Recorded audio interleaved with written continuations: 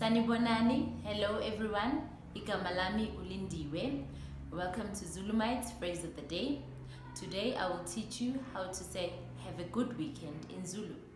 You say impela sonto emnandi. Impela sonto emnandi, meaning weekend nice. Hope you'll use this with your colleagues and your friends on Friday afternoon. Siyabonga, salani kahle.